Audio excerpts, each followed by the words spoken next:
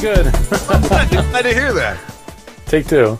Hi, I'm Dan Leonard in the East. And I'm George Whittam in the West. And together we are East West West Audio, Audio Body Body Shop. It's summer. It's the third summer of EWABS, if you can believe that. And to celebrate things, we're going to heat things up with a great guest, Ryan Drean. Who's Ryan Drean? He is Ryan on the radio. He's really an expert in radio production, something we all need to think about. So he'll be an interesting guest. Ryan's also a voiceover actor, so he's got a lot of perspective to share with us. I'll be talking about the CAD E100S microphone. Not so well known in the industry, but it's starting to catch some buzz, and I happen to have one here, so I thought I'd share it with you guys, show it to you, let you hear it, and compare it to some of the other mics that are popular in voiceover.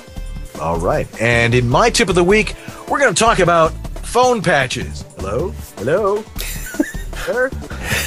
And I'll also have my tech update of the week. All right. East West Audio Body Shop. Big changes are coming in August. And join us in the chat room. That's where all the fun is. Nine o'clock in the East. And 6 o'clock in the West. We'll see you then.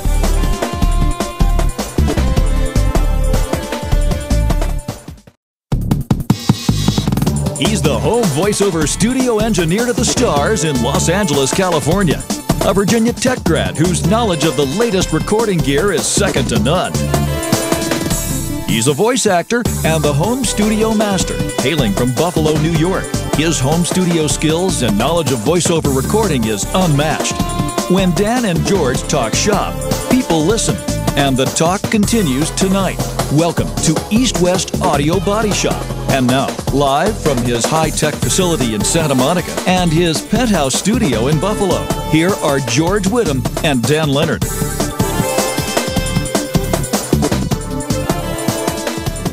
Thank you, Dave Quavassier. Good evening. I'm Dan Leonard in the East. And I'm George Whittam in the West.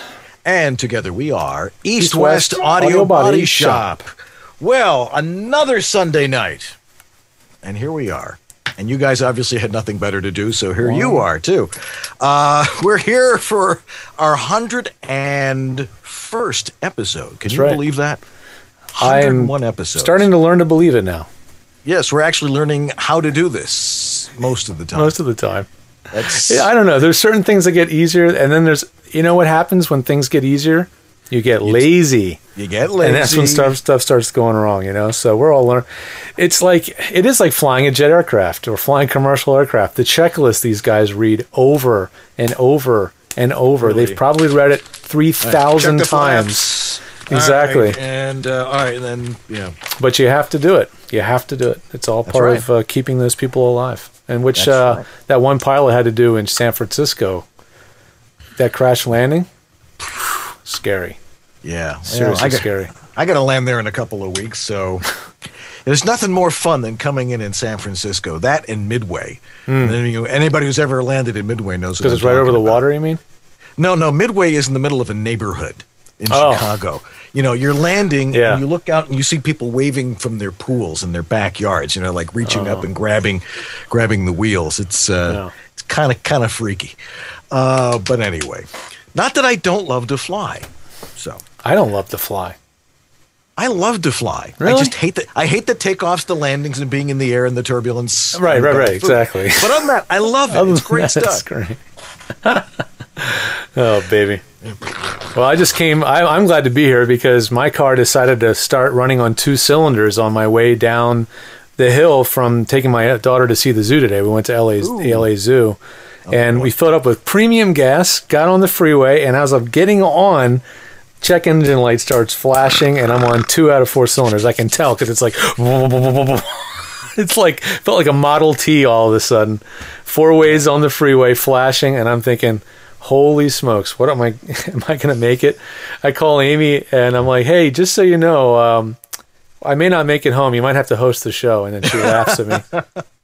So anyway, we're, I'm here. I'm alive, and uh, the car. Uh, well, the car started running on the way home. I think as soon as I crested the top of Sepulveda Pass, the big top of the hill, all of a sudden it felt like boom.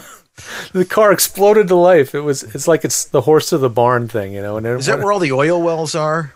Oh no, that's uh, another area. Sepulveda Pass was where um, Mulholland Highway Oh, goes okay. across. That's there. right. Yeah, exactly.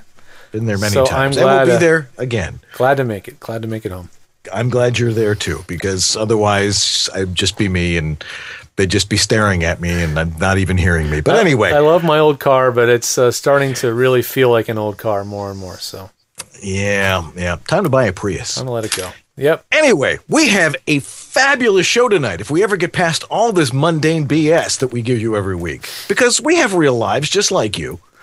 Uh, but we have a great guest tonight, uh, a guy who knows an awful lot about I refer to and he refers to as radio production, the end, the end use of the stuff that most of us do, which is dry voice.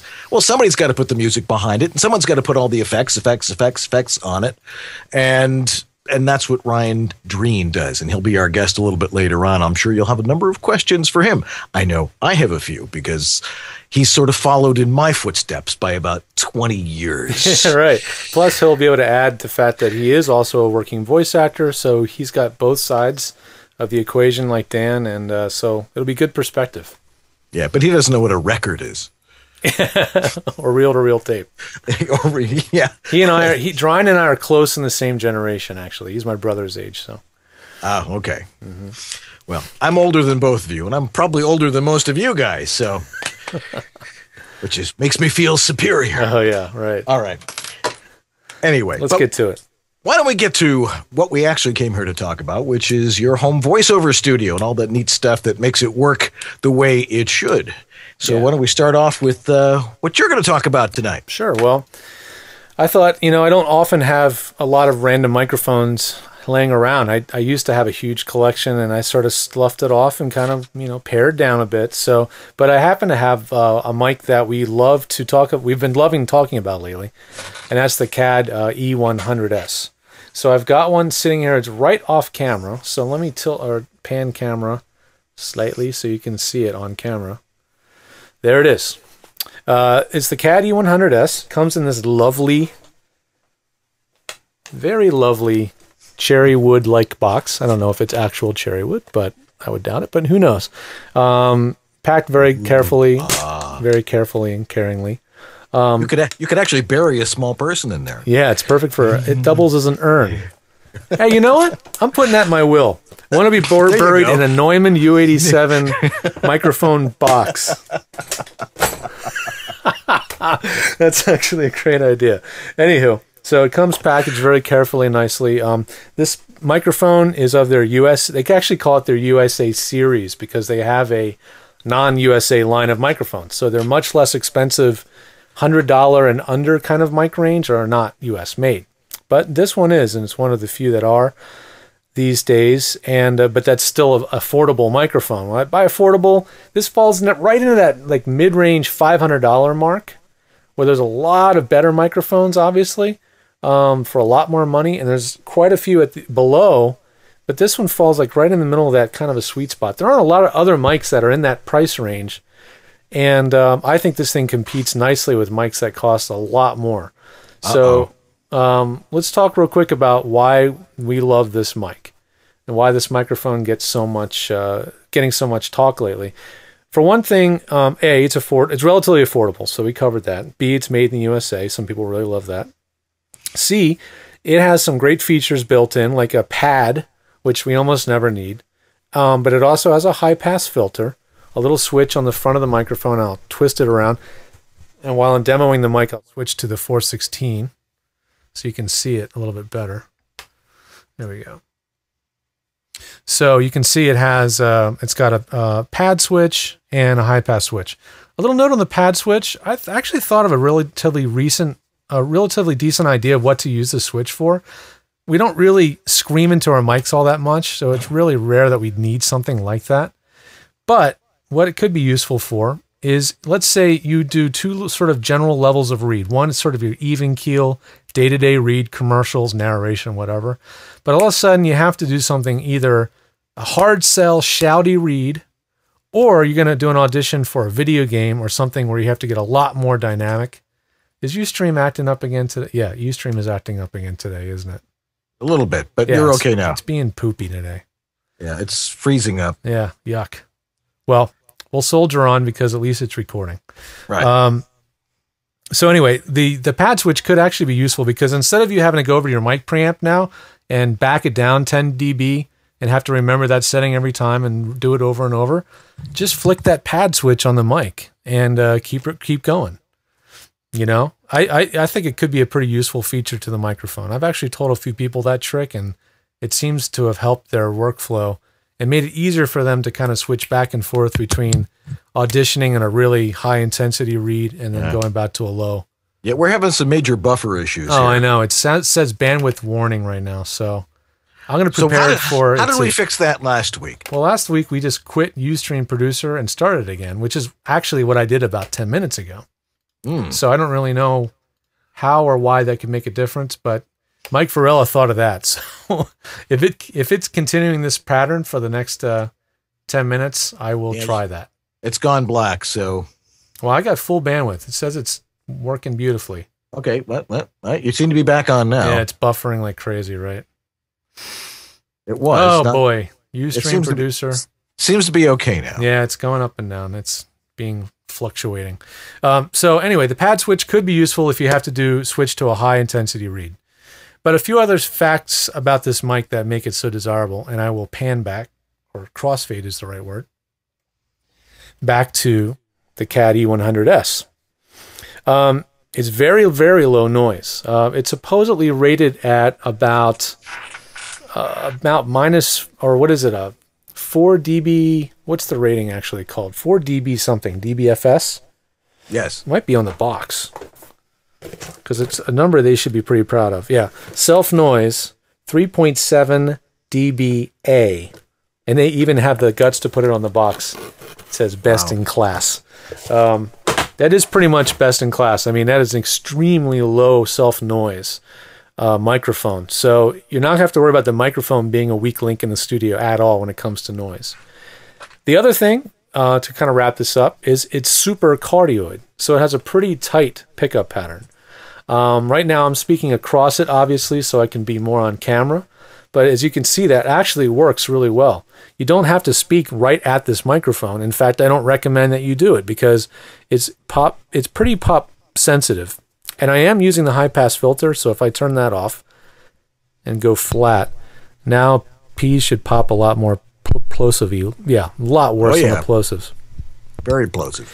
But I, I find the the high pass filter helps with the pops, and then of course addressing it off not off axis necessarily, but speaking across the microphone. So the diaphragm of the mic is still pointing at my mouth or right in front of it, and it's still about six to eight inches away. But I still sound like I'm on microphone, and that's what you're going for. So as you can see, it it doesn't sound drastically different when I look right at it and when I speak a little bit past it, which makes it really makes it really easy to work this microphone. I think it really does sound pleasant. Uh, pleasant. It's not overly bright. How's it coming across to you, Dan? Sounds it sounds you know something as far as microphones are concerned, it sounds like a good microphone. Sounds like a good microphone. Let me just double check my EQ. Make sure there's nothing funny going on with a EQ cut or boost. Dum, dum, dum. People are commenting on how they love your shirt. Oh. There was a little bit of EQ on it. I just noticed on my mixer because Ah, it's just going through a different. Mackie. Yeah, it had the bottom end rolled off uh, pretty severely. So now it's flattened out. So you're getting a little bit more fullness. And the 416 was also EQ'd a little bit. Let me flatten that out and then switch back. Because I know these two mics get compared a lot. So now we're on the 416. Needs a little Can't bit hear- more gain. Can't really hear the difference, to tell you the truth. You know, yeah, I mean, once you're especially getting compressed over uh, Skype, but they are not drastically different. Not drastically different. So if you're looking for a mic that has that sort of 416, a little bit aggressive sound, very um, directional, more forgiving about acoustics, you know, the CAD may be a mic that you want to consider. But I'll tell you the four, and I just crossfaded back. The it has a little bit wider pickup pattern, so it hears a little bit more background noise. It can hear, you can hear the fan on my Mac Mini spinning away a little bit more on this mic. Um, but really, if you're going to travel, if you're a real road warrior, though, I don't think I'd want to travel with this mic. I think it's a little bit delicate. I've heard of a couple of people complaining about delicate, you know, failures, and the 416 is an awesome travel mic. It's definitely built for the road. So anyway, there's a little comparison. I hope that uh, helps inform your opinion. I'm totally informed. Cool. I'm totally there. And next week, this mic will go into the studio where it belongs. So that was my last chance to get a demo. Uh, okay. Well, no, it works. It actually sounds. You know, you, you can.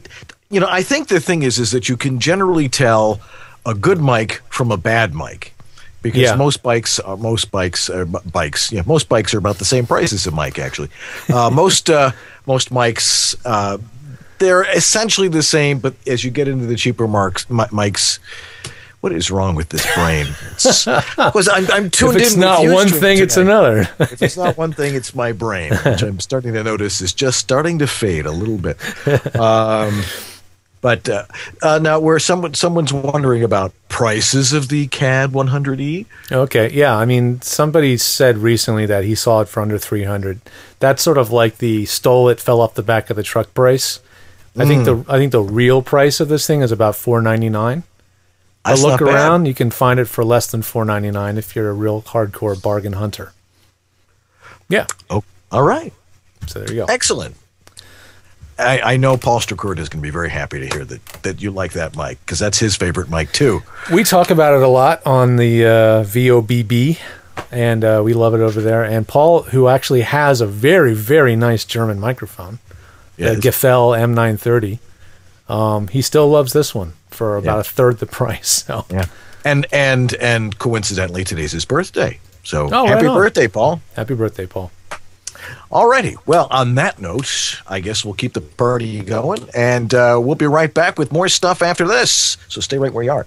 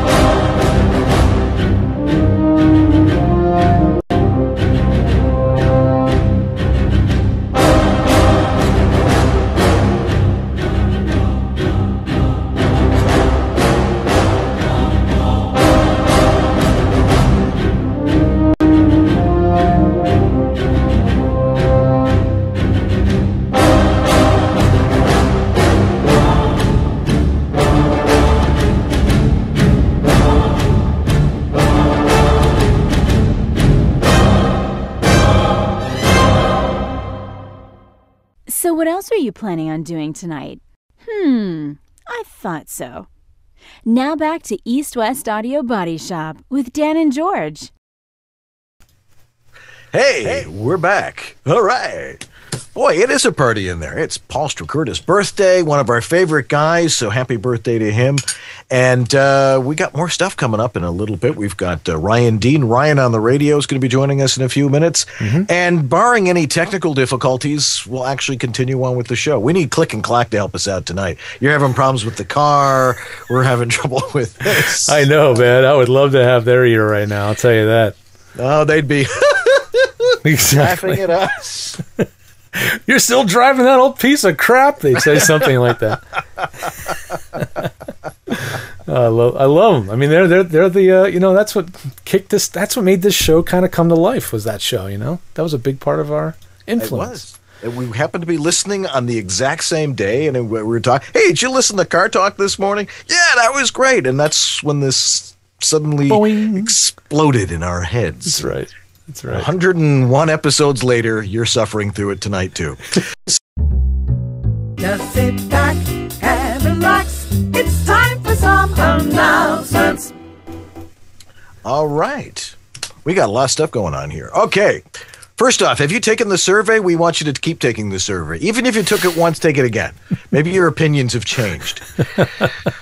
It's sort of a living, ongoing survey, but uh, we right. appreciate everybody has. We've had over 50 people fill it out. It's on ewabs.com. It's right on the homepage. You can't miss it. It's near the top. Um, just helps us uh, shape the future of the show, and we are definitely doing some sh- future shaping. Shaping, yes, we are. It's uh, it's a living, breathing document. How does that sound? Okay, uh, let's see. Oh, the DLF Voiceover Lab Poker Classic is on August 24th. Info at sagfoundation.org. Mm-hmm. Gosh, I wish I could be around for that this year. One of these years, I'll be there for that. You're traveling a lot this year, so I guess you can't make everything, right? No, um, I'll be there. I'll be close, but by a couple of weeks. Yeah. So I'll, I'll miss it by 22 days. But what am I? What can I do? Yeah. But you should got you guys should go because you got to support the DLF lab. It's a great, great organization, and it's going to be a fun event. I'll be there, um, documenting it, and hopefully we'll get some footage that we can share on a show. Yeah, and uh, we got a we got a big show coming up on the 28th. Yeah. I was I was going to say 28th. On August 28th, we're going to be we're going to be joining up with our good friend, the lovely and talented uh, Anne Ganguzza. July. did I say July? You said August. I said August. Yeah. Can we reboot me? You need a reboot. Oh man! it's been a Hey, that's what. I'm here for. I'm just here to make corrections. That's all. Wait, may- may- Maybe I'm dehydrated. Let me just That hold on a second. dehydration break or hydration break. Oh, that helps. Oh, that's smooth. What was in that water, Dan? That didn't look like uh, water. It's purple stuff. I, I have found the answer to how to really use a soda stream machine. Instead of using that thick syrup that they give you, Right. which is great, use Mio. Oh, Which got it's it's just sort of sweet, sort of flavors it. How's that? All right. That's right. Uh, what were we talking? Oh, we're going to be on July 28th. I said it right that time. We're going to be at Anne Ganguzza's place with the voiceover peeps, and we're going to do EWABs in Irvine. Yep. And uh, we'll both be there. One of those rare occasions when George and I actually sit together in the same in the same camera. I know. We're gonna have to be careful not to cross the streams or something. I know. Although Anne has some ideas about that too. But that's going to be a lot of fun. Do not miss it. That's going to be a fun show. The audience is already booked. I think she's already got her 40 or so people capacity crowd that'll fit in her living room, dining room area. So, but it's going to be a good time. I know. And the food I hear is fabulous. Oh, yeah. her husband yes. cooks. Man, does he cook well. Can't wait. Uh, now we want you to plan ahead. This is like the minor announcement. We'll do the big announcement on the 28th, but we're going to start doing the show on Monday night, same time, same bat channel. But we're not going to. We're going to give you guys your Sunday nights back, so you can have time with your families, which obviously you value since you're here every Sunday night. I know now they've spent the last uh, two years convincing their family that they should be actually doing this instead. Right. Now that we're gonna, now they're gonna get their Sunday nights. They're not. We're not gonna know what to do with ourselves anymore. I'm gonna be Oh, sitting I'll here at six oh one on Sunday nights, going, "Wasn't I doing something? Oh yeah, yeah, the show." yeah, I can I can watch Dexter when it's actually on and Mad Men and stuff. Anyway, so right about now, everybody in the chat room should start going, "No, that stinks." What do you have bowling night that night? There's Come always on. something. Oh, maybe it's the buffering because UStream is buffering like it's buffering like a bandit right now. Is up and down, up and down, up and down. up and down, up and down. See, it'll be much better on Monday nights. That's ah, man. I'm. I hope so. I hope everything is just better on a Monday night. The show, the my energy, our energy, our brains. You know, we'll have we'll have, we'll have had a fresh day, a fresh start to the week. Then we do the show. That's right. I think it's gonna be better better all the way around. I think so too. Well, let's see. Uh, oh, and please, you know, after tonight, still please like us on Facebook, follow us on Twitter at uh, ewabs underscore show, and subscribe on YouTube in case you missed us tonight. In which case you're going, I don't know what I'm missing because you're not watching. Right, right. But uh, you can get, you always catch the show afterwards on YouTube, especially on if things start breaking up because George actually takes crazy glue and glues it back together. I absolutely do. I'm, and I've had to do that more lately with Ustream misbehaving. So, and I also have a, a subscribe link on the top of ewabs.com. So if you're wondering how do you subscribe to a show on YouTube, I've never done that before. It's, it's right over here. Yeah, right just click there. on that uh, button. Is it up there or up there? I don't know. I, I don't know. It's up there, somewhere. So, so All anyway, right. let's get to the phone patches. That's right. Ryan Drean will be joining us in just a couple of minutes. But uh, here's my tip of the week. Let me fly it in because I have to do it the old-fashioned way tonight. All right. So I'll just drag that over and just do this, and then do that, and then play it. do this. And that.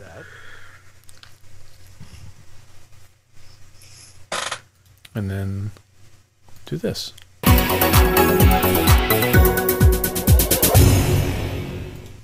When I cut my first spot in a professional studio in 1979, I remember the producer talking to the client over a phone patch and playing for him or her the finished spot. Now, a phone patch is a device that takes your line out audio and steps it down to a compression that a regular phone can handle without too much loss in quality. Every time I hear the term phone patch today, all I can think about is the cast from Mad Men sitting around a speakerphone listening to a read of an old Golds ad. It's old, outdated technology. Yet some diehards still cling to it. I get these panicked emails and calls from people saying a new client wants them to use a phone patch, and they have no idea how to get one or set one up. This falls under Dan's list of things you have no need for. And ad execs who think you should use it for them simply don't get the reality of modern technology.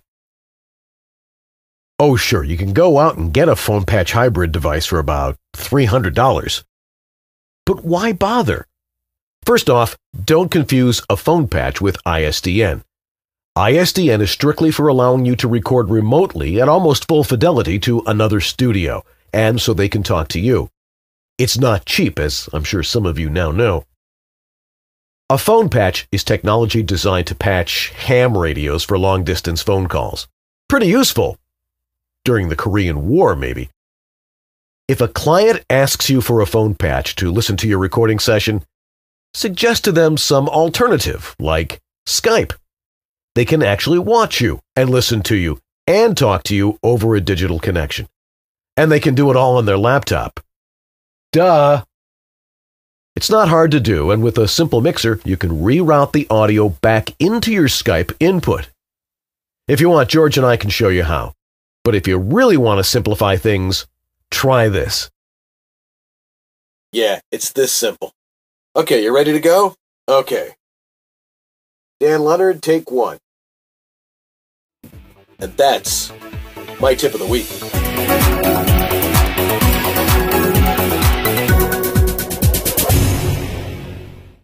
I think And you I better put on your flame retardant suit now, Dan.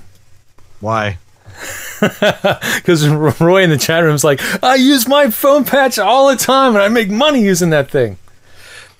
Grow up. Um, No, it, certain parts of the industry do heavily rely on on the thing, but most of us, it's just not necessary to have the extra gear and the extra cost and complexity. you set up on your end? Okay. Yeah, that's true. Come on now. I mean, how how many phone patches a week do you do you do? You think if you could count? Not often. Yeah, exactly. Zippo. Yeah. So I mean, Trust, they trust me. yeah. So I mean, you represent a good chunk of the voiceover talent pool out there, and then there's Yep. still like another big chunk that I think rely on. Actually, we'll have Ryan weigh in. I, I was. I was going to say I'll bet you Ryan Drean yeah, has some Ryan stuff can to say about that. Yeah, I'd love to have him weigh on it too. All right. But um, anyway, yeah, Skype. One word, Skype. I know you guys here complain about Skype a lot, but it really does make a really good phone patch. I've been using Yeah. it as my phone telephone in my office now for about five years, and it's fantastic. and Works I'm coming to you via Skype now. So as you can hear, it sounds fabulous, and I look spectacular. Yeah, and then you can you can you can, blah, blah, blah. You can use it as a regular old telephone. Get a Skype phone number, and you can make a phone call. On, I'll call in there if you need to. It's amazing. Mm-hmm. Phone patches. Okay. anyway, Ryan Drean's coming up here on East West Audio Body Shop. Get your questions ready. We got lots too, so stay tuned. We'll be right back after this incredible.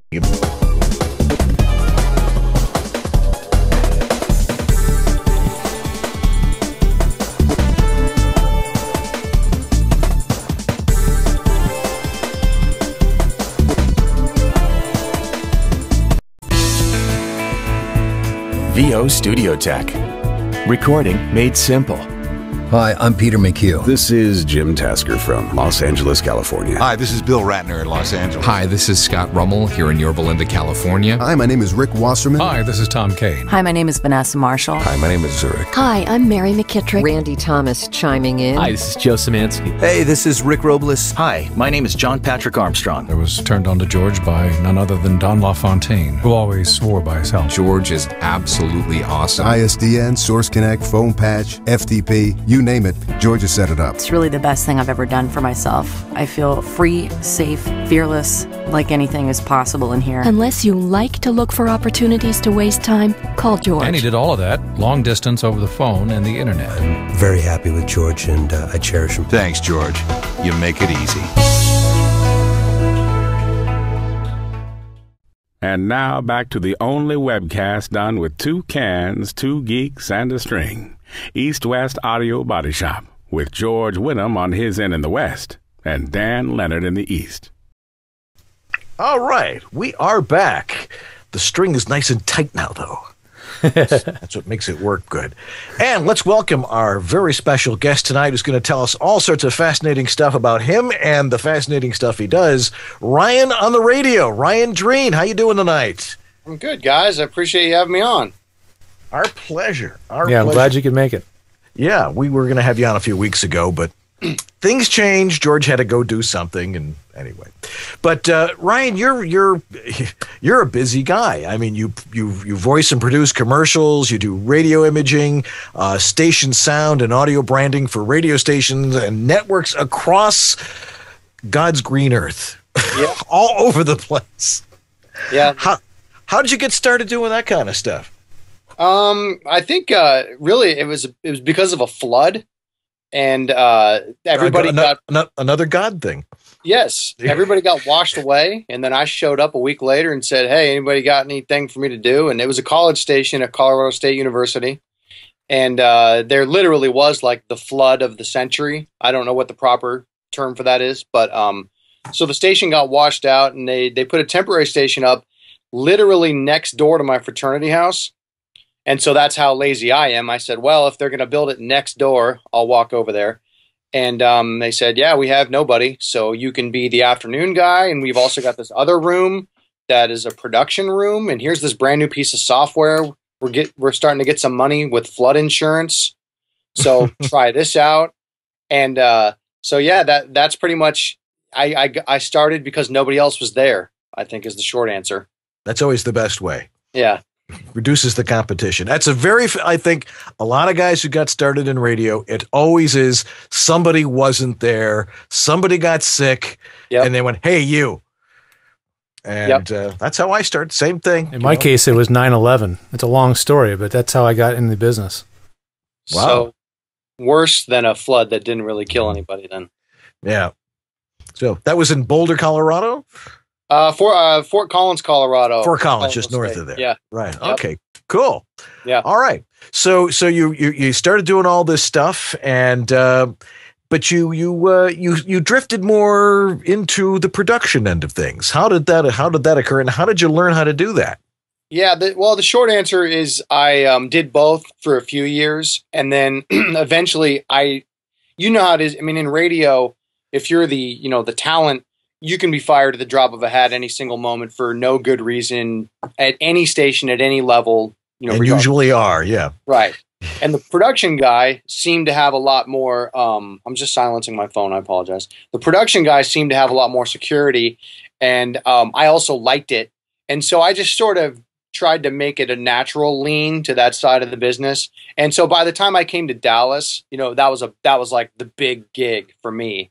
Um, going from what was i mean in radio you kind of talk about it as market sizes. So you talk about i'm working in market 100 or market 1 is new york and dallas is market 5 and i got the job because i met a guy in new york when i was working in market 240 so i'm in like the armpit of new york city over in new jersey. And i meet a guy who then gives me a chance to uh, interview for a gig in market 5 so it was a it was a large leap and i was way too excited and uh, that's when I said, "All right, this production thing will be good." That that's what I like. Mm, you you just made Uncle Roy real happy. Um, he lives in Jersey, uh, hey, I, but anyway, I, I, like Jersey. Don't get me wrong. I okay. I just know the way people people think about it. If they're you know if you're talking New York City, right, right. Uh, I love Jersey. Nice okay, I was there for four years. I liked it a lot. Yeah. Now now when when I was doing radio production, when I first started doing it, uh, we had a big Collins turntable with a big gear shift on it. Yes. And with belts that would turn these big black discs called records, and you would cue up the record, and you'd rehearse it a couple of times, and you'd hit record in this these, these reel to reel and, Oh, uh. and you and you'd use a grease pencil and a razor blade. You know, not not different from this one. Oh, I thought you were talking about a Victrola there, Dan. You're not that old. Sorry. No, no, I was not. We didn't wind it up. It was. It, it had a motor, but you didn't have to do any of that, kid. No, How, how I, did you start to learn? I never cut a piece of tape, uh, but I think I kind of showed up like the day tape cutting stopped and software using began. And Wow. so, you know, I mean, when I walked into the, the college station, there was real, real everywhere, and uh, everything was still on carts. Everything year was being that? Played off the cart. Um, what's that? What year was that? Uh, that was uh, when I showed up over there. It was like ninety, late ninety seven or ninety eight. Yeah. I, I think it was in the summer. I honestly can't remember, but it was Sounds about somewhere right, yeah. in, in my uh, third-ish year of college. A cart. Yeah, yep. and uh, when you go into those stations, you'll see you know entire walls, uh, ten feet by twenty feet of those things. But but um, so anyway, when I, when I showed up, like I said, nobody was really there that knew anything, and um, there was you know one student station manager just trying to not do anything bad to to make the campus say, okay, we're just going to take this away. It's just too difficult to get it going again. Um, so anyway, they handed me Saw Plus. I think it was at the time it was called Saw Plus, and it might have been turned into Saw 32. It's a piece of software that looks like a whole bunch, well, 32 uh, tape machines stacked on top of each other. But you know, the audio is rolling in digitally, and at the time, p- there were people that were using that before me. That technology came out in like the uh, early to mid 90s, but really it hadn't caught on full until probably you know the middle to late 90s. And so I was just like lucky guy who never had to take his time cutting tape, and I just my learning curve started digitally, which was huge because I didn't have to do. I've seen production get done with the old school ways where you had to, you know, you had many cart machines lined up, you had multiple reel to reels, and then you had your destination where you were going to record to, and you had to produce your promo live. You know, so you got it all set up, but then you had to hit play on everything at the right time and have this whole promo with 57 effects and the voice guy and the music bed and then the hooks from the Madonna songs and whatever, and it all had to go live. And if you screwed one thing up, start over again. You considered a re- you considered a rehearsal. Yeah, I couldn't believe it's hard for, for me to even think about that now. You know, No, it, it it's not hard for me to think about it. It's Yeah. it was every day until they gave us a four track quad machine. oh yeah. I mean, it's like I punch in and do all that stuff. That was that was a that was a nice transition when when the digital stuff came around. But uh, so you really ha- you really learned in a very different way, I think, than a lot of people traditionally did. So you actually were able to do things that we really couldn't do before without a lot of effort. And so it was like probably like drawing with crayons. Only with you, it was like drawing with a good pen. Yeah, right. It was like having I don't I don't know, like instead of using uh, one good pencil, you now had this device with 40 good pens that all drew together or something. Right. Um, with you know pretty effortlessly compared. Um, my only problem that I had originally was since I was you know no one else that not just in that building or on the campus, but no one else I even knew in life at that point was using this kind of software. So I just had to sort of you know dive in and just make mistakes. And the stuff and i mean i'm sure everybody who works in a creative field when you go back and listen to the stuff you did in the very beginning it makes you you know maybe you want to throw up. Or worse. and i've kept that stuff. And it's crazy how good i thought what i was doing because it was this fancy software how good i thought it was then and how really awful it is. Yeah, I, I found some stuff on reel to reel, and I'm playing it back and going, I'm amazed that I was able to do that. You know, and and Yeah. it's, it's it's always fun to take the technology and push it just a little farther than perhaps anybody expected you to. You know, you tend to start thinking, uh, oh, well, I could do this, well, I could do that. When of course the guys in the big studios like Uncle Roy were doing this years and years and years ago, and they're thinking the same way. But us little guys were doing it too. So you you you do radio production now. How does radio for those of you in in our chat room and watching the show live? Uh, how do how does radio production really differ from the simple dry mono uh, voice recording that most of us do? Yeah, I mean, really, at the end of the day, uh, you know, what I do is make. I mean, it's branding. You know, at the end of the day, what I do is branding. And so, uh, you know, if you're the radio imaging guy, you know, at once upon a time, any station worth anything would have had, you know, one guy that or gal, but back in the day it was often men, but um, that would kind of focus on the production for that station. Way back in the day, stations didn't really have anyone doing that. They would pay a lot of money to get jingles. Otherwise, there was really no radio branding. You know, Right. way back when. Um, but once they started figuring out that they could actually market themselves, then they they get these talented guys that could make um, you know radio imaging, um, branding, audio branding for the station, and then you know radio was blowing up, and there was just so much money piling in, so they all hired the best guy they could. And I've I've had I do my podcast, and I've had guys tell me about you know some of the ones that were really big in the late '80s through early 2000s and the salaries that you could make in imaging, you can call it imaging, one station uh, in, a, in a big market, but I mean, sick amounts of money. And nowadays, it's gotten to the point where a radio imaging person is probably producing this, the you know the imaging, the branding for a station. Oh, I'm sorry, for a group, potentially eight stations at a time and then they might have you working on other markets. Like for example, my my Clear Channel job in New Jersey, you know, I was brought in there to do middays on one station and produce the imaging on a different station.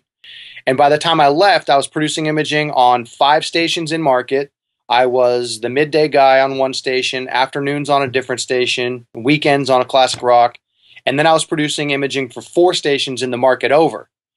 You know, and that that was kind of that was the transition. Radio was just huge in the early 2000s and then it hit its peak and all the money started going away and so you had a guy who was doing one thing is now doing 10 things Yep. so i probably went off on a bit of a tangent there you might you might No, reel no. me back in here but i don't know if that's informative but that's kind of what it's become Yeah, no, the, the market has changed completely. I, that's really one of the things I wanted to talk to you about. But let's talk a little bit about the formatics. And you know, if you're doing imaging, you know, you're doing the branding for different stations. How does it really differ? I mean, honestly, I don't listen to the radio a whole lot anymore because everybody's got you know not even CDs. You just plug your iPad in and stuff, your your iPod and your or your iPad. Some people use their iPad, uh, but I mean, when I do listen, I'm listening to you know to to satellite radio or my local station, which of course does imaging. But what are some of the different type of imaging formats, and how do you adjust yourself to those? I think a good imaging director will have a good PD. You know, in order to be really good as an imaging director, you're going to have a good program director. That's a PD, is a program director. You know, the guy who who captains the boat of the of the sound of the entire station. So everything about what the jock says, everything about the music they're playing, everything about the promotions they do, you know, the tickets they give away, the money contests, whatever. And then the guy that produces the crap in between the songs, me. Right. So the first thing you really have to be on point on is who you're talking to.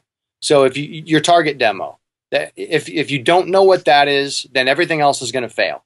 And if you know who you're talking to first, and a good PD will know exactly who you're talking to, and a good station, at least I should say, I think the most effective imaging campaign slash just program of a station in general was focused at literally uh, an example. I actually forget her name now, but at KSCS in Dallas, uh, one of my favorite program directors, and I had many there. He basically named a woman who was 39 years old, and so we were talking to, I, let's call her Rebecca, 39 year old mother of two, Rebecca, and that's who we're talking to. We're not talking to 900,000 people. That happens to be the cume of the station. We're not talking to women between 25 and 54, and we're not even talking to women between 30 and 40. We're talking to 39 year old Rebecca who has two kids, who might, might even have a job or two, but who is, you know, the busy, working, fast paced mom. And again, that that's where it comes down to to start there with your target demo, and every station ha- should have that person. Right. And how do you learn how to talk to that person? it's like, Yes. uh, how often do I get to talk to 39 year old mothers? Well, you have to go out and seek a 39 year old mother and see what she sounds like. And how do you relate to her? How do you get in rapport with it? Did you do that? Yeah, yeah. I asked that. Uh, actually, I started dating one. oh, well, problem solved. Yeah, still with her, so she stuck around with me. Uh, but no, no.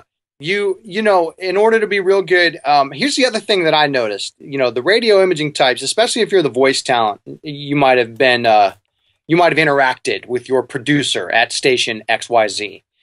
And oftentimes they tend to be the guy that's a little nerdy. He's probably into some weird TV shows and maybe likes card games or whatever, but doesn't necessarily get out enough. And in order to be the the talented, you know, um, the successful imaging producer, you really need to want to get out, and you need to really want to get out and do what your station is doing. And so that's you know tip number two. Don't just figure out who your demo is, but really figure out you know what it is your demo is doing, and you need to go out and do that. Either consume the products, you know, a lot of pop culture, especially, I'd say. I don't know the percentage, but most of radio is being directed towards some form of a women, a woman demographic. There certainly is talk radio being geared towards men, obviously sports, and then rock radio. But rock radio is dying fast and hard over the last Yeah. few years. Yeah, Um, 30 or so. Yeah. So um, you need to get out there and consume what your what your listener is consuming, and whether and that might mean you need to watch the E network for a couple hours a week, and you might hate it, but you really need to know what they enjoy, and you need to watch local news.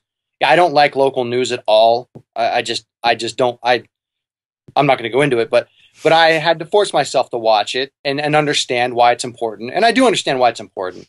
But you know, you need to do what your listeners are doing. Right.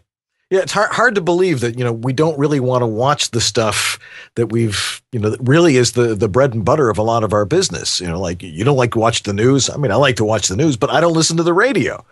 Um, yeah, and and if I do, if I'm listening to a local talk station or something like that, and I'll hear a spot, sometimes I hear my own voice in there, and I go, "Oh, well, now this place has gotten better," uh, which Well, is uh, which is which isn't a whole lot. A lot of actors don't watch what they act in either. Well, that's true. Maybe it's Very for true. different reasons, but Right.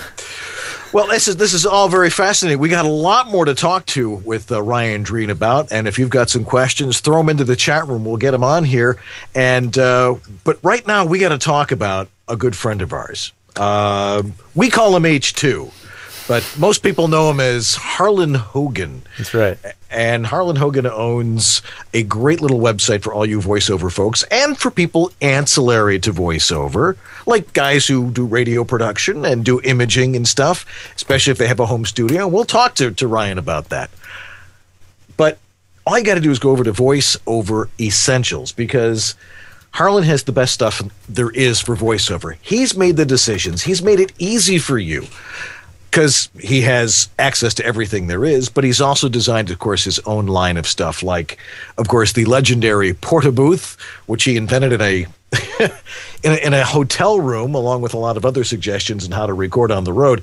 And he also uh, came up with the VO1A microphone, which is actually really good for the price point. And it is it is really great. does and how does it compare to the CAD 100E? Well, we need to get one in here because every time that Harlan sends me one, I sell it. So we need to get another one in here and do a comparison. And and the one and the one I had got lost in the mail. So Harlan, please send us another. we'll have actually we'll have one at the uh, VO Peeps Oh, we- thing. We will, we will. Uh, so you'll actually get to hear what a great microphone that is. Mm-hmm. And of course, the Harlan Hogan Signature Series headphones, which we should all have. And I know I have mine here somewhere, which they're great for doing voiceover work because they're designed specifically for what you do, and that is dry voice. Uh, that doesn't accentuate the low end at all. They're comfortable, made with leather and memory foam and aluminum, and they twist like a Twist-O-Flex watch band. You can wear them for three days straight and not even know you have them on. All right, maybe that's a bit of an exaggeration. But go on over to voiceoveressentials.com and buy his stuff because it is the best stuff out there. He's decided what's really good, making it easy for you, and he supports our show. So that's reason enough right there. So go on over to voiceoveressentials.com and um, Get Buy something and then tell them you heard about it here. And you heard about it here. And Pre- that we recommended it. Yes. Thanks a lot, guys. Thank Thanks. you. Thanks, Harlan. We appreciate Thanks, it very Harlan. much. We do. We really do. All righty. Back with Ryan Drean. Now that you're totally bored with this. I Um, was gonna say, I, I when you were talking, I looked over. I have one of the Porta Booths, and I Ah. thought sitting right here, I was going to pull it right up and say, "Look at this." here, no, pull it up and show it. Pull it up. Not Grab here. it. I don't know. Oh, darn. I, I, I actually I redid my studio on Friday. I I'm at the home studio now. I do work in it. I have a daytime job. Uh, right. More of a production job. But anyway, uh, Friday I had the whole day here. Redid my whole studio, and I put it somewhere. And I should have cleaned my studio. It's behind something. Yeah. Oh well, yeah. It's that's mine's over there somewhere behind a bookshelf or something. Why don't we talk about your home studio a little bit here? What do you what what kind of gear do you have in there? Um, you know, I actually that was what I was doing on Friday. I sort of dumbed things back down a little bit. Good. Um, I can. Weeded it out.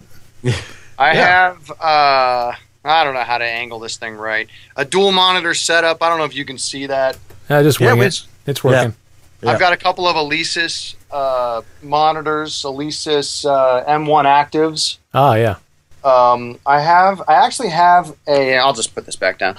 I have a uh, Aphex 230 channel strip. Uh huh. Um, and I like it okay, but I, again, I've been sort of taking things back down to s- simple world. The mic I use is a 416. Yep. Um, so I was running that into the 230, but I wasn't really doing anything with the 230 because everything I do now is in the box. You know, um, well, when you work in Pro Tools, um, I'll, I'll instantiate a lot of plugins on the fly, and so I will um, process the voice with software plugins as While it gets recorded Uh huh. You know so anyway i just found myself using outboard gear less and less. I also have a dbx uh, a dbx 286a but i don't even use that. Mm-hmm. um, and i used to use a digi 03 rack for my input. Um, but again total overkill because i'm just not doing any tracking here. You know i'm not doing Yeah. i'm not tracking more than my one mic maybe two. Um, so I, I actually just got i'm kind of getting into native instruments products a lot and uh, the audio um, Komplete Audio 6 their interface Yeah. the reviews are really good on it the quality of the of the uh, preamp um, and it's got two of them in there and I, I love it so far so now i have the 416 going direct into that and then i have that going into pro tools obviously and i have an audio track plug-in and then i put just a little bit of an l3 compressor on my vocal chain um, but really my studio comes down to that now it's a mac uh, a mac uh, tower what do you call it the, the Mac Pro. yeah, it's uh, what do I have? Eight. I think it's an eight core. Mm-hmm. Yeah, it's an eight core Xeon. Yeah. Um, so for me, I need like the strength in the box when I'm using you know 57 plugins and 48 tracks on a big piece of production. But as a voice guy, everything else was overkill. So I just went to the, the single input audio device, the balanced audio input with the 416, and do everything else in Pro Tools. Cool. Yep. See, you've you've simplified, and that's that's what we like to preach here on the show: is Yeah. don't overthink it. And Yeah. you did it, and you took you you started. I know George loves doing this when he goes into people's studio. You just like unplugging Tearing stuff things. out. To, Yes. Right. Uh, and so, and that's what you did, and I I was that's to say this. Uh, I love unhooking crap and having a big pile of cables on the floor. of my latest teardown of the studio. Yeah. That is still over in the corner. That's awesome. So It's my favorite. yeah. So anyway, um, I I just talked on my show. Do you guys know Mike Bratton? Yeah. yeah, of course. Yeah, um, great guy, super talented. But I was kind of angling my talk with him as kind of like the young, you know, I don't have anything yet guy, just to Yeah. kind of see what. And yeah, man, breaking it down, the the biggest thing you need is a is a good place to talk. You know, Yeah. a room. You need Yep. the place to talk in, and then you need the talent. And then you know, don't spend four thousand dollars on an Avalon and a five thousand dollar mic. You know, figure out how to talk first and get the good room. That's right. Yep. He's one of us, George. He's one of us. He's we agree. one of us. We- We, we definitely like agree on that. Yeah. All I right. So you've been doing about before the show. You said that you've been doing about if you look at your accounts receivable or whatever you're billing about 50-50 voice voice acting now and uh, production. So Yeah, when did the voice acting start encroaching on radio? Um, I really started putting an effort into it. Um, it's actually been a few years. It was kind of a slow go for me, to be honest, because I was so so much the imaging guy, you know, the producer guy. Yeah. And um, even at stations I was at where my voice might have actually fit, they were still like, "Hey, you're our nerdy producer. You just stay back there and produce, and we'll go hire the voice talent, kid." Um, and that was great. You learn a ton, and I got to work with a lot of different, really good radio imaging voices. And so, from you know, like um, Jude Corbett is a guy who I really look up to, and um, working with him for a few years really helped me kind of figure out, you know, where I can fit in. And then before that, though, Dave Foxx, who's the voice of Z100 in New York, um, and other things, lots of other things. But he was one of the first voices I worked with, and you get to see how they do it, and not just, um, you know, not just technically speaking, but you know how they structure reads and how they deliver stuff and how they interact with their talent. You know, Dave Foxx is thought of in the radio imaging world as one of gotta be top three, definitely top five sort of royalty talents Hmm. as far as a producer and a voice. And just the way that, you know, uh, for his clients, you felt like you might have been his only client, even though you know he's not. But the way he treats the clients is that kind of a deal. Yeah. Um, so that was back in 03. And so I started to kind of dabble, uh, picked up my first sort of full time station in probably, um, I don't know, 06 ish, let's say. And I had a few stations for a few years. And now I'm up to um, regular stations that I voice. And then some of them I also produce. Um, but I've got to be in the 15 range. And then there's still a few other ones that I only produce. Um, so Mhm. you know, th- those are nice because it's really my wheelhouse, and I feel really comfortable doing it. Um, and and then also it's just you know nice regular monthly income that you can just count on. Yeah. Uh, we got a couple of questions from folks in our chat room who are populating it in a heavy way. Uh, Chris Tom uh, asks, "How can someone get started in imaging when you don't have the editing skills, and what's the best way to move forward?" Ironically, I just had a guy in Atlanta email me. Um, the same. He was. He's really interested. Um, I mean, really, the easiest, fastest, cheapest way, i i- assuming you already have the uh, ability to acquire, or you've already acquired a, a DAW, is what we call it, a digital audio On the workstation. workstation, right? an editor, a Pro Tools or Audition or Cubase or Logic or there's all sorts of them. Um, anyway, YouTube, there are uh, there's got to be millions now of tutorials. Oh, yeah. I mean, um, there's certainly thousands of great ones, um, but you really just have to start watching people do it. And it's the little things that you'll see, you know, um, th- the slapping of the stuff together. You know, voice goes here, music goes underneath it. Right. Um, but it's really to get good, you have to start paying attention to the way audio interacts with each other, knowing how to filter a voice so that it doesn't just smash into the bed or get lost. You know, In the uh, yeah, get buried down into the mix where you can't Right. really. music. Yeah, um, and, and so those videos will show you how to use compression and EQ. Those are kind of your two main things you want to start to learn. John- you want to learn how to. One of our Sorry. friends of the show, John Taylor, show, did a video on on uh, YouTube how to build a radio spot in like five minutes flat using Adobe Audition. You know, so there's some amazing tools out there. Actually, how did you settle on Pro Tools over some of some of the others like Adobe Audition, which have always been more classically kind of radio production based? Actually, and this is the story that I've heard from a lot of people in my business. Um, I had to. Hmm. I got the job in Dallas. I mean, I had um, actually when I was in New Jersey, they they got me a Pro Tools machine and put it in my studio, but it was for another guy to use overnight. And I said, all right, maybe I'll start learning this. And you know, four years went by, and um, the Dallas called and said, so I'm like, well, I guess I'm not learning that. And I show up to Dallas, and they're like, here's your studio, Studio. and it's amazing.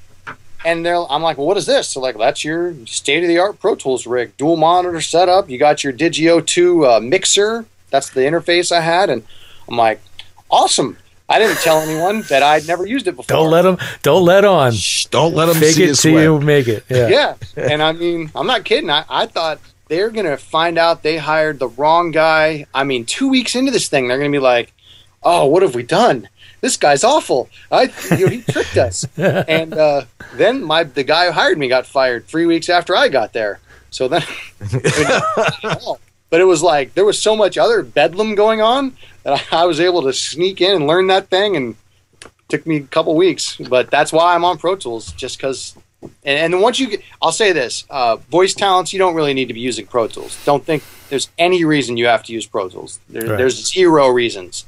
But if you want to do more than just record dry voice for clients, Pro Tools is is the um, it's the one. You know, it's Britney Spears albums; they're all done on Pro Tools. Justin Bieber's albums, all done on Pro Tools. Who cares?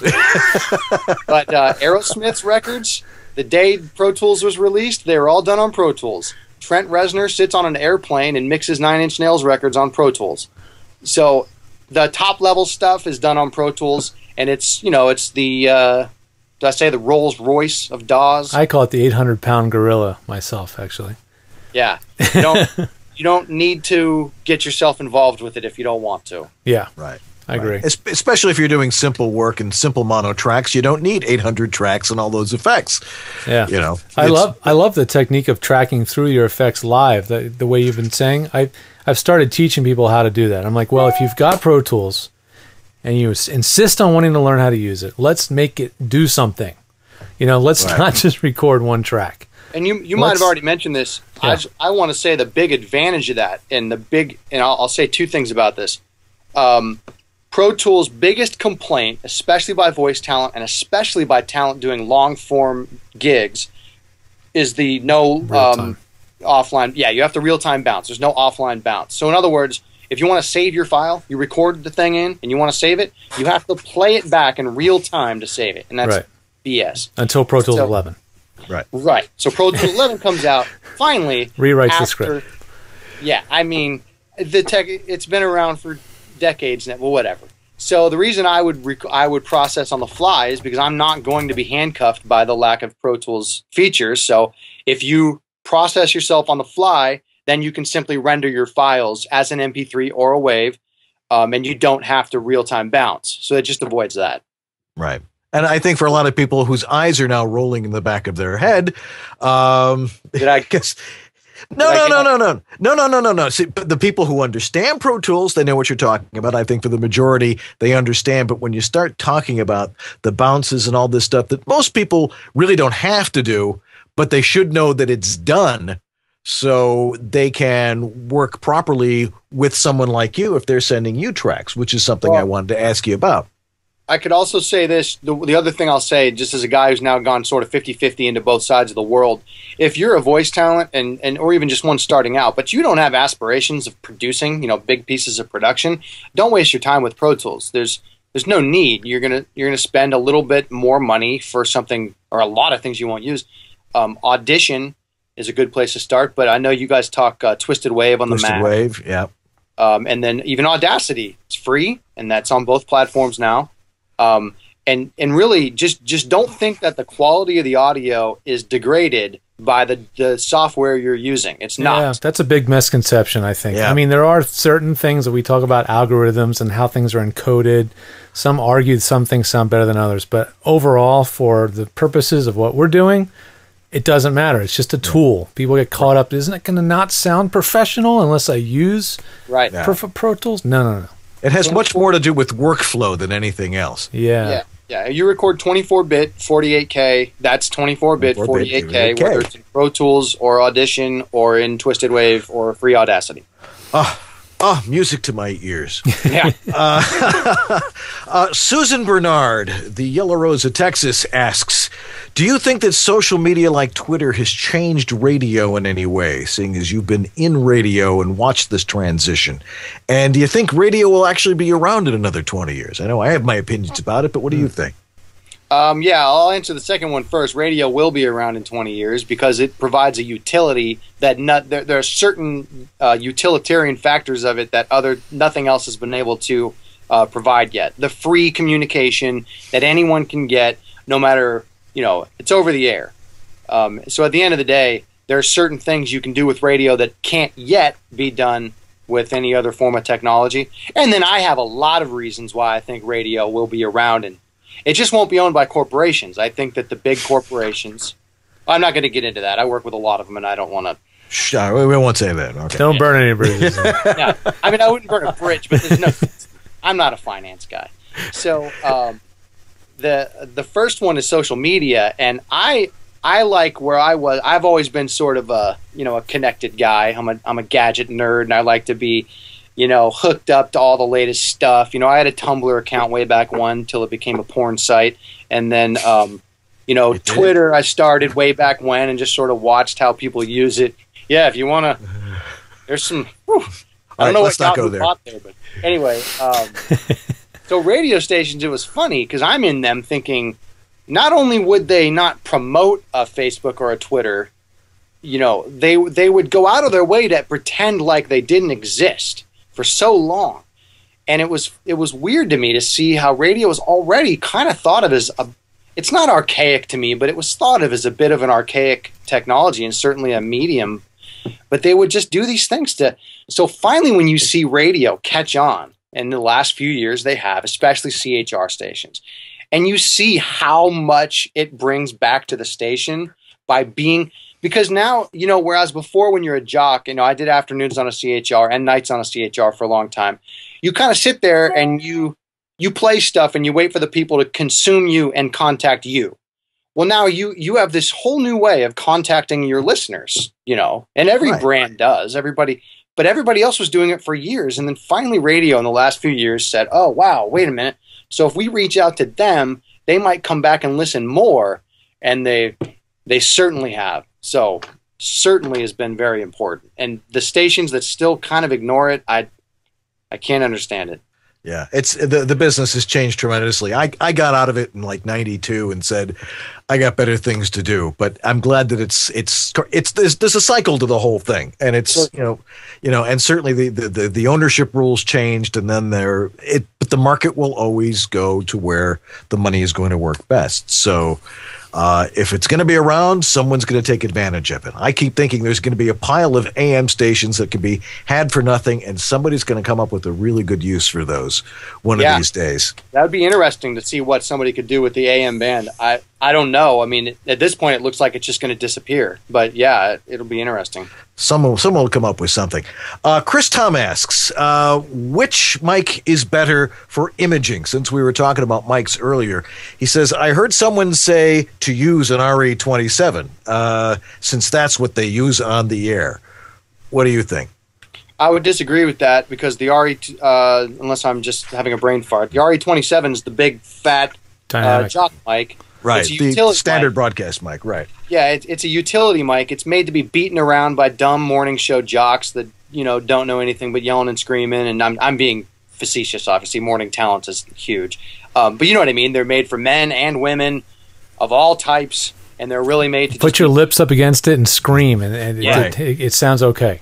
Yeah, so I would disagree with that completely, and I think most of the big talent. In fact, I would venture to guess that anyone who makes a a good living providing radio imaging VO does not use an RE27. Mm-hmm. Right. Uh, the Neumann line, a few of them, I know some of the big talent has the U87 or the TLM 103. Um, the 416 is huge, though. I know many radio imaging talent that use the 416. Uh, it's very forgiving, but um, it, it has a very full sound. At least that's my opinion. I think the reason is it has a very full sound in, in the bandwidth, in the spectrum. Yeah, I, I I think lo- it sounds like it's already had a little bit of sweetening done right out of the mic. Yes. a little It- I love compression and stuff. Yeah. Yeah, I keep. Why did I not buy one sooner? Because it's sudden. It's now become my my go to mic. It just it just is perfect. You know, I don't even use a pop screen with it. So What I size if you of know- a? I'm sorry, Dan. What Go size ahead. of a room do you record in, Ryan? Are you in a smaller booth that you set up for, or is that space you're in now? Is your actual where you cut yeah, it's a bedroom. It's uh, one of the bedrooms in my house, and um, I've, I'm a big DIY guy, and I've probably seen some of your videos. Not probably, I certainly have, um, and stolen some ideas. And then, you know, I, I bought a bunch of acoustic stuff online and treated the room. So I've got panels all around. I've got so ceiling you, panels. you went with treating the entire room because you like to work in the same space. It's more comfortable. Yeah.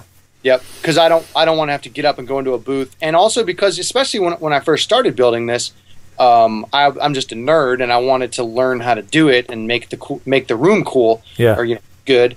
Um, but also, yeah, I, I'm producing a lot more than I'm voicing, and oftentimes I'm producing what I'm voicing.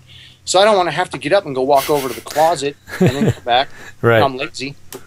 Um, and then during the day, I work out of TM Studios in Dallas, and uh, they I have a room that's way too good for me there. It's Hmm. uh it's a mastering suite that they Yeah. gave me. That Killer. Yeah.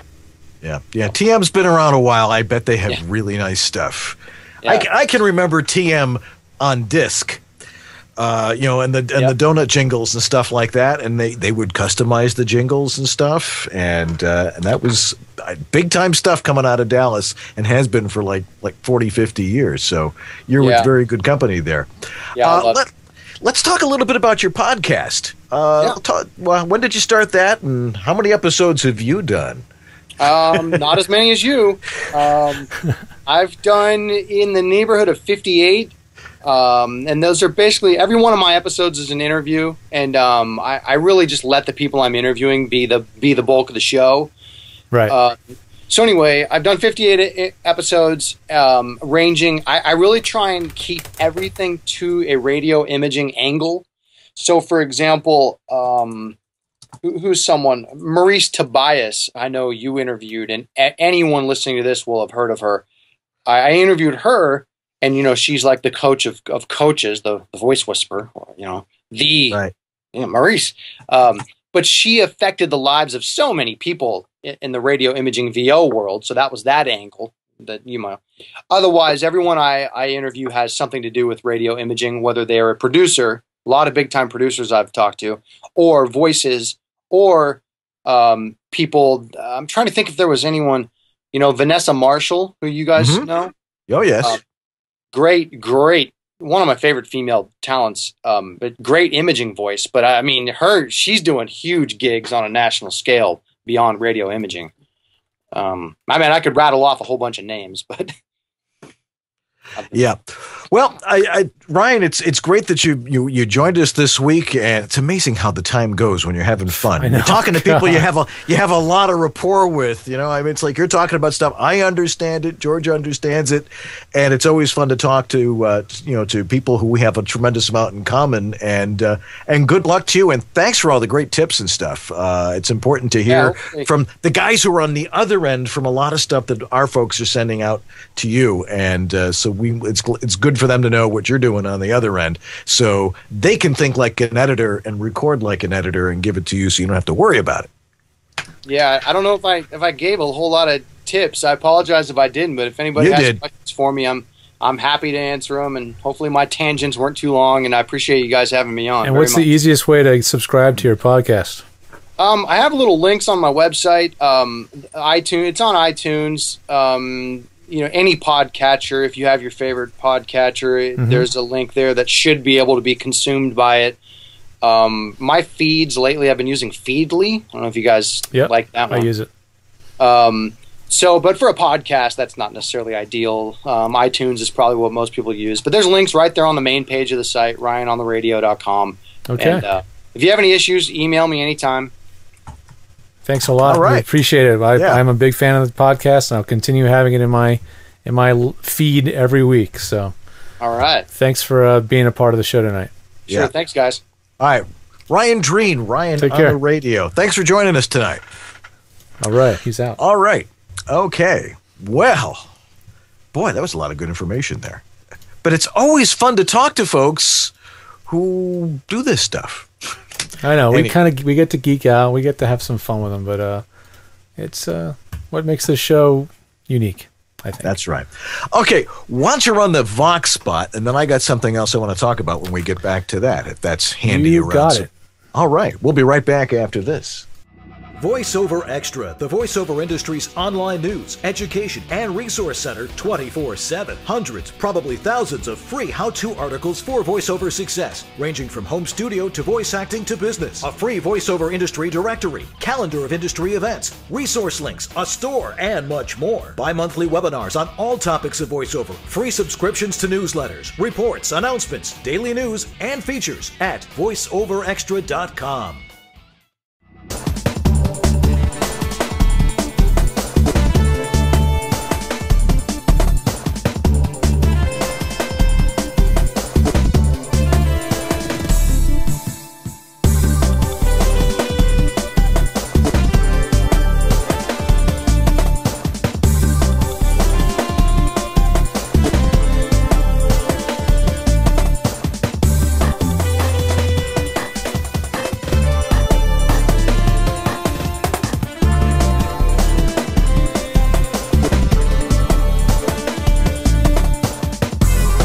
And now, back to East West Audio Body Shop, where every week it's Apollo 13. George, George, George, George, George, George, George. anyway, you know, I'm participating in a project uh, that I think many of you will be very interested in, and uh, we're we're going to be doing it on it's it's going to be on September 18th through the 20th. It's called Voice Over Virtual. It's going to be a virtual voiceover conference. For those of you who don't want to get on a plane and get a hotel room and stuff like that, you can hear some great people and it's being put on by uh, voiceover extra. It's called voiceover virtual. You'll get to learn all sorts of great stuff. There'll be lots of great vendors there. I've heard of some of the people are going to be there. You can network with other people online and you'll just have a good time because we're planning on making sure you have a good time. Uh, and you can register now by going over to voiceovervirtual.com and there's the website right there with our good friend Dave Courvoisier, um, who is going to be one of the main hosts for this. But this is the kind of education you really, really want. You're going to learn about the best stuff from audio, you know, about audiobooks and business and marketing and career advice and home studio stuff from, you know, some guys. Uh, and you'll learn about voice act. There's going to be some great voice acting coaches that are going to be giving uh, uh, seminars on this. Uh, top teachers, awesome access, pro on pro, pro interviews, pro on pro interviews, which George, I believe you're working on. I am indeed. Uh, you'll be able to do live consultations with some of these folks and access these recordings of these seminars and webinars for two months afterwards. So go on over to uh, voiceovervirtual.com, check it out and say, gee, this might be something I want to do on September 18th through 20th. 2013. And then the content's available for some time afterward, right? So, like, uh, if you can't be deal. there live, you can catch it up till the end of the month, I think. That's right. So right. go there. We'll be there. Boy, uh, uh, East West Audio Body Shop. Virtually. Of course, we'll be there. We'll be there virtually. virtually. Everything will be virtual, but it'll be actually like being there. Wait do you see the interface for this thing? It's absolutely amazing. It's like you're walking into this virtual convention hall. You know, sort of looks like those buildings that I saw in Valencia, Spain, that were like bigger than life. Oh, beautiful! It's really, really cool. Anyway, well, I think we're getting towards the end here but, yeah, uh, I was just going to bring a up a couple of things we want to talk about. well, about. there was just one website that, uh, or one product anyway, that popped up on my radar that I know absolutely nothing about. And I'm really curious to know if anybody in the chat room has actually used this thing. And it's made by Audiofile Engineering. It's called Voxover. V O X O V E R. Mm-hmm. And it's they call it the automated voice over batch recording for multimedia program. And I was saying, telling Dan about it earlier. What what does that remind you of in the world of? This is a Mac program, by the way. This is for the Mac. Yeah. So this is like a Windows version or a Mac version of a Windows program. You guys have probably heard about at this point. Speaking of Spanish guys, it was reminds me of Word to Wave. Word to Wave, right? Yeah. So these this sort of like, from what I can tell, is like the Word to Wave of for Mac. Uh, for Mac yeah. So um, just a quick rundown. Vo- voice VoxOver allows you to write or import a script and rapidly automate the recording of that script.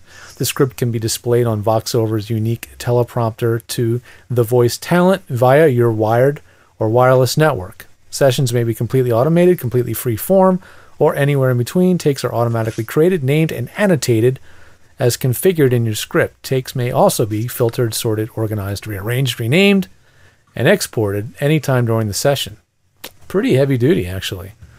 So I don't know if you guys are doing stuff with lots and lots of prompts, or you're being directed, or you are directing somebody else, or you're doing slides to PowerPoint presentations, yeah. like all the presenters at VOV.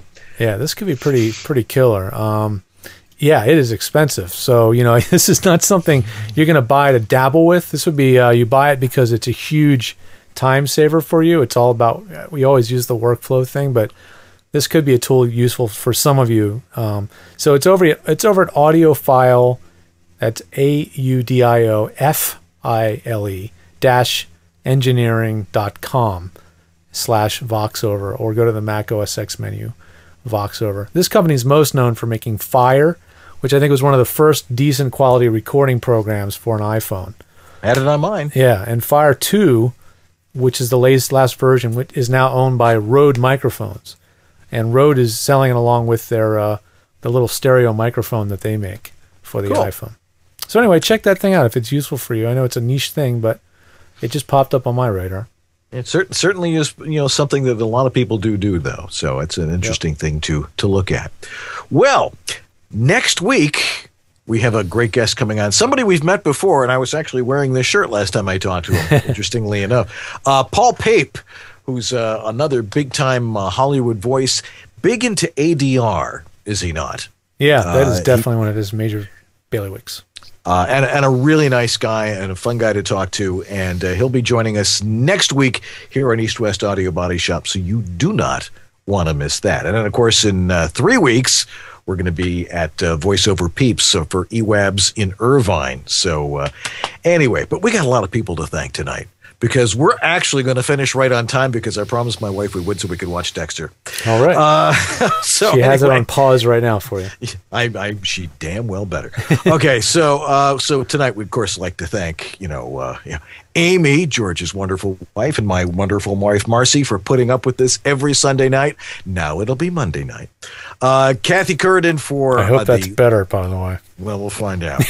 um, and and of course Kathy for for producing and Anthony Getting uh, the both of them for helping us out in the chat room. Jason Lawson and Lee Penny for some production assistance, and of course Larry Hudson and Sylvia McClure and Larry Davis and Elizabeth and Rosemary Benson, who I actually heard all of tonight for once uh, for our our announcement uh, and our bumpers and drops. And of course, more importantly, thank you for showing up here every week and uh, and and making us do what we do because we love doing what we do for you.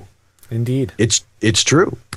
Anyway, but that's going to do it for us tonight. Uh, I'm Dan Lenard in the East. And I'm George Whittam in the West. And together we are East, East West, West Audio, Audio Body, Body Shop.